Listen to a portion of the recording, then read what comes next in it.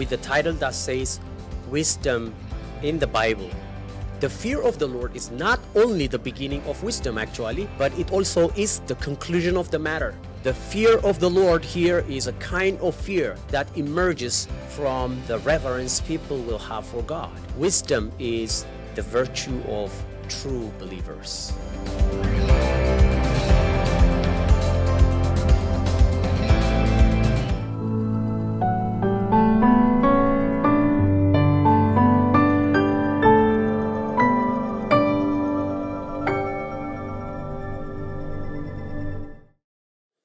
Hello, JCS. Uh, it is always a privilege for me to be here in the chapel, and thank you so much for providing the opportunity. And I hope uh, all of you are doing great by the grace of God. Uh, I am here to share the Word of God uh, with the title that says Wisdom in the Bible. The fear of the Lord is the beginning of knowledge, but fools despise wisdom and instructions. Let me start my sermon by sharing a story, a very short story about a knowledgeable man and wise man. There was a very knowledgeable man who was respected by many people, and he was on a trip to a very rural area. He rented a boat to cross to the other side of a lake.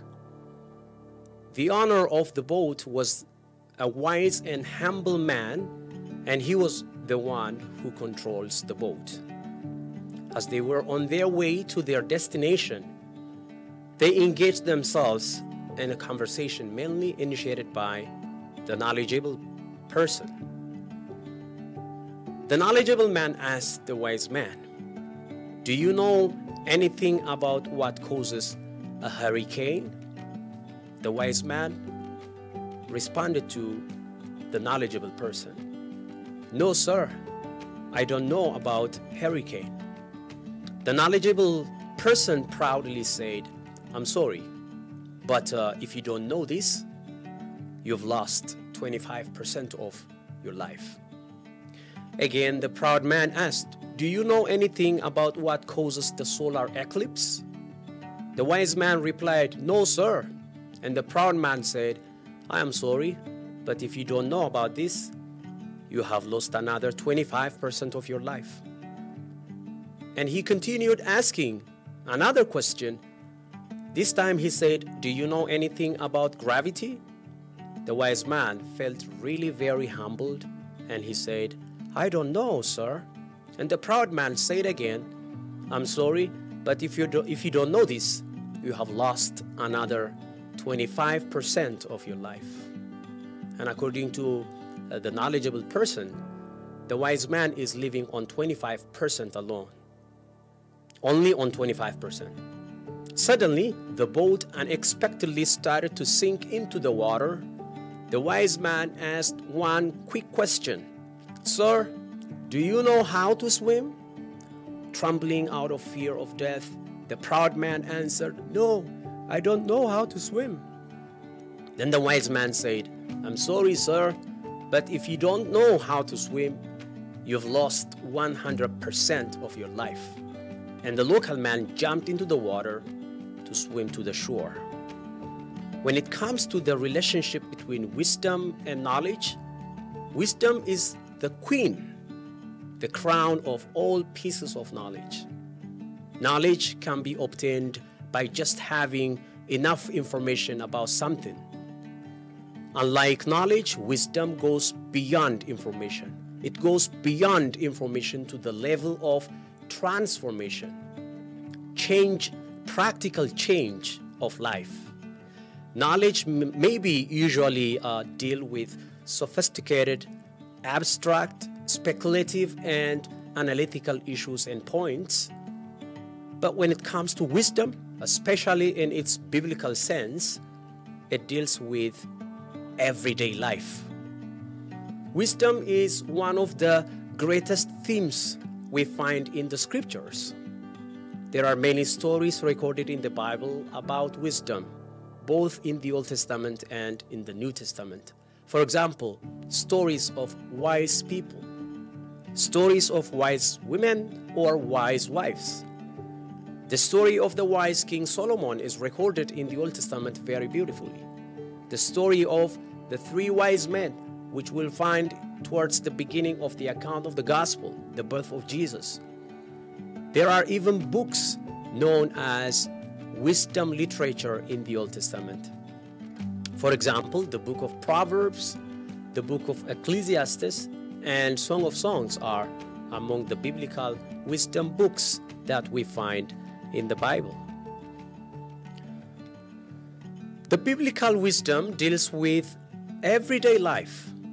It deals with universal issues, issues that goes beyond time and space limits. The biblical wisdom instructs how to survive in this world. The biblical wisdom is not a big fan of sophisticated wisdoms, analysis, philosophical questions, but it deals with survival. It teaches people how to survive in this world as people of God. It teaches how to use resources properly. Many of the, problem, the problems that we have, relationship problems, local or international, comes from the use of resources. And the wisdom from the Bible teaches us how to use resources properly and how to share resources in a fair way. The biblical wisdom teaches how to choose good friends. The subject of friendship is there, how to choose good spouses. They also instruct how to live a moral life. There is a term we often hear nowadays, and it is called problem solving skills. That is exactly what I mean by saying wisdom here. The knowledge that we accumulated in our mind needs to be transformed into the practical life. It has to be the source of our wisdom to solve the problems that we are facing day in and day out. We have many knowledgeable people around the world in history and even now, but we have few wise people. We need to turn our pieces of knowledge into problem solving skills. There is no theoretical or speculative wisdom. Wisdom is always practical and it focuses on survival and it focuses on problem solving. It gives us the wisdom to get rid of the problems that we are facing every day. The biblical wisdom mainly has two dimensions. These dimensions are known as horizontal and vertical dimensions. The vertical dimension focuses on Yahweh Himself, and the horizontal dimension focuses on living life in harmony with God's creation. This is very similar with the Decalogue or the Ten Commandments. The Ten Commandments, the entire Ten Commandments can be divided into two vertical and horizontal relationship with our Heavenly Father and relationship with others. And wisdom in the Bible is the same thing. It talks about the relationship that we have with our Heavenly Father and the relationship that we will have with creation. Um, the fear of Yahweh, which is the vertical dimension of the biblical wisdom, we can find the foundational uh, teaching from the book of Proverbs, chapter 1, verse 7, which I read toward the beginning of my sermon. The fear of the Lord is the beginning of knowledge. The same book, the book of Proverbs, chapter 9, verse 10, repeats the same thing in different way. There it says the fear of the Lord is the beginning of wisdom. Here, wisdom in chapter 1, knowledge. The fear of the Lord is not only the beginning of wisdom, actually, but it also is the conclusion of the matter. The book of Ecclesiastes, chapter 12, verse 13, it says, Now all have been heard. Here is the conclusion of the matter fear God and keep his commandments, for this is the duty of all mankind. Life will be sweet only when it is sandwiched in between these two kinds of fear of the Lord. Fear of the Lord towards the beginning or as the beginning of everything, and fear of the Lord as the conclusion of all matter. Taking the fear of the Lord both as the beginning and the conclusion of the matter makes a person wiser. But we have to notice here when I say the fear of the Lord, I'm not referring to kind of fear that is destructive or oppressive by its nature. It is also not related with the sentiment people will develop or bad feelings that people will develop as a response to their imagination of the final judgment or the punishment that comes because of disobedience. Rather, the fear of the Lord here is a kind of fear that emerges from the reverence people will have for God. This kind of fear emerges from a healthy relationship that God's children have with their Heavenly Father. If we wanted to lead a life wiser than ever before, as Christians, we needed to begin everything from the fear of the Lord. This fear of the Lord has the power to shape humans' theory of knowledge, which is also known as epistemology. Epistemology deals with the way we obtain knowledge of any sort. And that aspect of a person will be shaped by the fear of God, or in other words, words which I call wisdom. The second dimension of wisdom is living in harmony with God's creation. There is no wisdom greater than living in harmony with the creation order. I don't think it would be an exaggeration if I say nowadays many people to live many people attempt to live a life far away from the natural order, which I personally think is unwise. Modern people mainly abstain from living in harmony with the beautiful nature and its sensation. We robbed ourselves from the beautiful dawn chorus of singing birds. We robbed ourselves from raising our own veggies in our backyard, for we don't have enough farmland because of an unending spread of uh, industries and urban cities. The therapeutic sound of gently flowing streams of water is becoming just a dream for many people around the world. Living in harmony with God, with God's creation, is a creation mandate. Creation mandate means uh, God given responsibilities to humankind to uh, take care of God's creation, the entire creation order. The book of Genesis, chapter 2, verse 15 says, The Lord God took the man and put him in the garden to work it and take care of it. That is our creation mandate. God has created us in His own image and likeness to take care of His creation, to take care of all resources, to cultivate, Wisdom is unthinkable to acquire unless people engage themselves to live in harmony with God's creation. There will be no wisdom of any sort apart from the creation order. And that's exactly what we learn from the Bible when we talk about wisdom. Our uh, fathers and mothers, godly people, knew how to live with the fear of God, and also they knew how to live in harmony with nature, looking at what we have done to the earth, I at times worry a lot about humans' mission on Mars. I think we still have a long way to go when it comes to living in harmony with God's creation. As my practical note or application, let me talk a little more on uh, the practical point of view here we as human beings desperately needed wisdom at the personal, national, and international levels.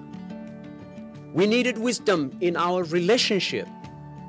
When it comes to family relationship, it's unfortunate to say that many families are challenged due to the lack of wisdom. Many families fall apart because of lack of wisdom. We do not know, many people do not know how to live in harmony with nature, in harmony with other human beings, and also the fear of God is fading away from time to time. When it comes to friendship, we needed to know how to choose good friends and also maintain that good friendship. And wisdom plays a remarkable role in this regard. When it comes to our relationship to our neighbors, wisdom plays a pivotal role in assisting us to peacefully live with our neighbors. You can think uh, uh, in a personal or a national level, many countries have a big problem living in harmony with their neighbors. That's why Jesus said, Love your neighbor as yourself. And I think loving neighbor as myself or as ourselves is the most difficult uh, commandment. That is why we needed the strength that comes from the Spirit of the Lord.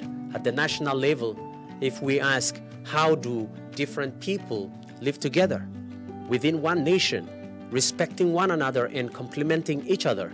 This is a very crucial question. Only wisdom has the answer for that. At the national level, this is the time we needed wisdom more than ever before. Think of what is going on around the world. We need wisdom. Our leaders need wisdom. The, the global community need wisdom more than ever before. Finally, let us know and be aware and see the value of wisdom because wisdom is the virtue of true believers. Amen. Let us pray. We thank you, our Heavenly Father, for this morning. And thank you for the message we heard this morning, gracious and loving God. And now we ask you the fear of the Lord is the beginning of knowledge, it is the beginning of wisdom. And hear the conclusion of the matter fear the Lord and keep his commandment. We want to live, Lord, our life within these two boundaries. We wanted to start everything, Heavenly Father, and having due respect for you. And also, Heavenly Father, Father, honoring the creation order that you have created, Heavenly Father, in the beginning. Lord, I pray for all of us always to have this desire of growing every day wiser and wiser by coming closer to you, gracious and loving God. We thank you for all community members of JCS, Heavenly Father, all teacher, all teachers and uh, students, parents. Uh, we ask you, Heavenly Father, especially as students are preparing themselves now for the midterm exam, may you continue to help them to put effort on their studies, gracious and loving God. We thank you, Heavenly Father, for everything. In the mighty name of the Lord Jesus Christ, we pray. Amen.